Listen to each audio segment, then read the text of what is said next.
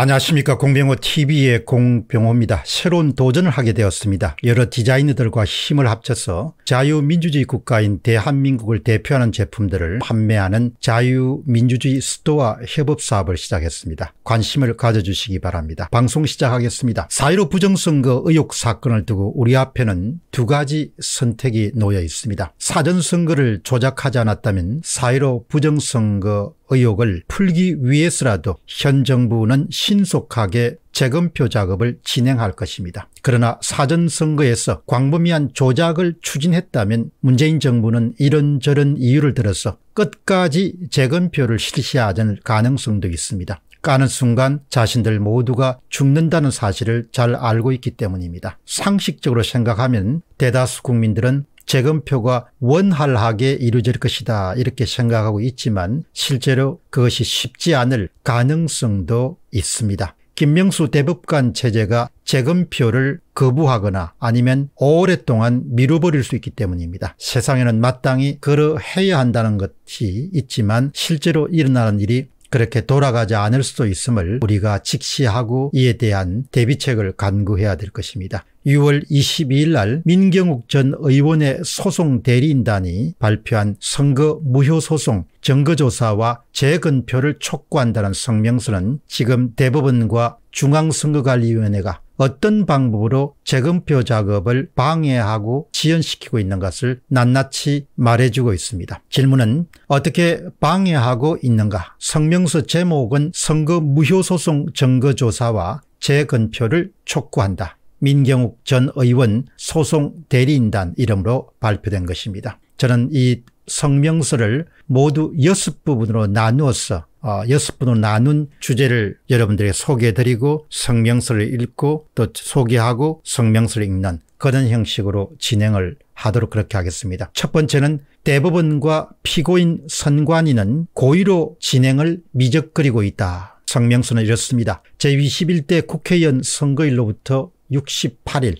민경욱 후보에 의해서 4.15 선거 무효소송 및 당선 무효 소송이 제기된 때로부터 46일이 지났습니다. 그동안 민경욱 후보 측에서는 대법원에 4차례에 걸쳐서 장문의 준비 서면과 책 두 권 분량의 증거 자료 문서 및 디지털 자료 등에 대한 각종 증거조사 신청을 이어갔지만 재판부와 피고 선관위는 아무런 대응을 취하지 않았다. 재판부와 피고 선관위는 아무런 대응을 취하지 않았다는 겁니다. 두 번째입니다. 의무를 방기하는 대법원에 대해서 기피 신청서를 제출하다. 급기야 지난 6월 17일 부정선거 진위 구명이라는 헌법소 사명을 방기한 김상환 등 해당 재판부 대법관 전체를 기피하는 신청서가 제출되기에 이르렀고 이틀 뒤인 6월 19일 피고 선관 위에 두 페이지짜리 답변서가 처음 제출되었는데 추후 상세히 답변하겠다는 말이 전부였다. 이틀 지난 다음에 두 쪽짜리 그냥 성의 없는 답변서가 전부였고 앞으로 시간 두고 천천히 답변하겠다 이런 아주 국민들의 열하고 같은 그런 관심 있는 주제임에도 불구하고 시간이 흘러가도 우리는 못하겠다 아주 고의적이고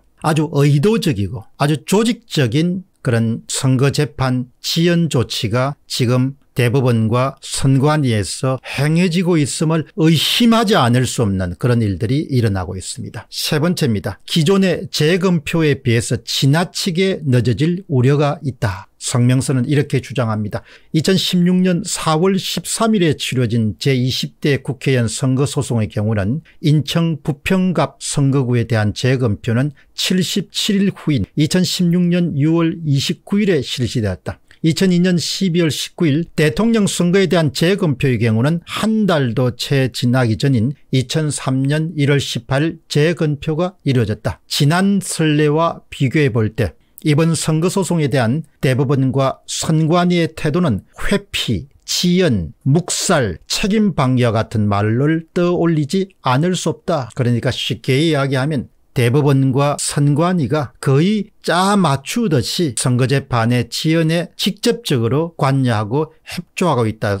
그런 사실을 의심하지 않을 수 없는 그런 점들이 너무 많다는 점입니다. 네 번째입니다. 대부분의 고의적인 지연에 대해서 우려한다. 당사자와 소송 대리인단은 국가적 대범죄인 전국적 부정선거 의혹을 둘러싸고 제기된 이번 선거 소송에 있어서 정당한 절차가 시기에 맞추어 진행되지 못하고 있는 점에 대해 국민과 함께 심각한 우려를 표하지 않을 수 없다. 특히 법원과 법 외의 압력이 위와 같은 절차 지연과 해피의 근본 원인이 되고 있다면 이것은 선거소송 제도를 마련해 둔 헌법 질서의 취지를 말살하는 것으로 결코 용납할 수 없다. 많은 사람들은 의심할 수밖에 없습니다. 대법원과 선관위가 조직적이고 고의적으로 선거재판 절차를 계속해서 지연시킨다면 이것은 외압에 의해서 외부의 뭔가 개입에 의해서 지연되고 있다 이런 의심을 하지 않을 수 없는 겁니다. 다섯째입니다. 노골적으로 선거재판 진행을 지연시키는 선관위에게 경고한다. 성명서는 이렇게 시작됩니다. 선관위는 총선 직후부터 제기된 요구에 응답하여 통합선거인 명부, 투표지 이미지 파일 등 검증 기준이 될 자료를 속히 제출하고 대부분은 각종 디지털 선거 장비와 자료에 대한 증거 조사 절차를 촉진하여 향후 한 달 내에 투표지의 진위 여부를 가릴 객관적 기준을 확립한 상태에서 재검표를 신속히 추진해야 될 것이다. 너무나 명백하고 너무나 당연한 일을 이렇게 지연시키는 것이 바로 대법원이 돼서 되겠습니까? 법관들이 그렇게 해서 되겠습니까? 고의적인 선거재판 지연은 부 정선거를 자인하는 것이다. 그렇지 않고 계속해서 절차를 지연하거나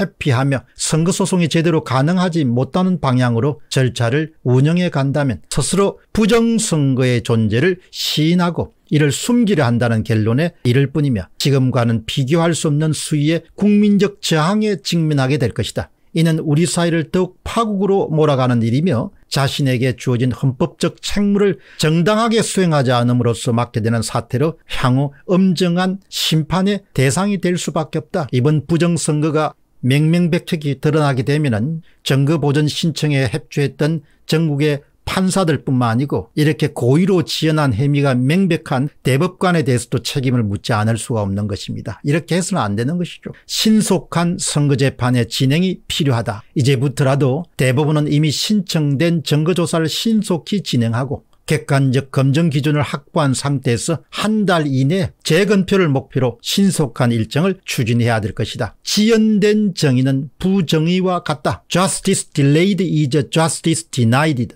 격언과 같이 지연된 선거소송은 선거소송의 파기에 다름 아니다. 대부분이 바라봐야 하는 것은 권력을 진 사람들이 아니라 오직 법과 양심, 헌법 공동체함을 다시 한번 간절히 촉구한다. 2020년 6월 20일 민경욱 전 의원 및 소송 대리인단 일동 마무리하겠습니다. 국민들이 깊은 관심을 갖고 민경욱 전 의원의 재판 절차, 선거 재판 절차, 특히 재검표 작업이 조기에 이루어질 수 있도록 힘과 뜻을 모아야 될 것입니다. 이것은 한국 민주주의를 지킬 수 있는가 하는가 문제에 바로 직결되고 우리 사회에서 민주주의 최후 보류에 해당하는 공정선거를 지킬 수 있는가 아닌가의 문제와 직결되기 때문입니다. 아무튼 상식과 순리와 그리고 법치가 지배하는 훌륭한 대한민국이 되기를 소망하는 많은 국민들은 민경욱 전 의원의 재검표 문제가 민의원 개인에 해당하는 문제가 아님을 깊이 인식하시고 이 문제가 조속히 해결될 수 있도록 대법원의 동향과 중앙선거관리위원회 동향에 깊은 관찰력을 가지시기를 바랍니다. 우리 함께 지켜야 됩니다. 이 좋은 대한민국을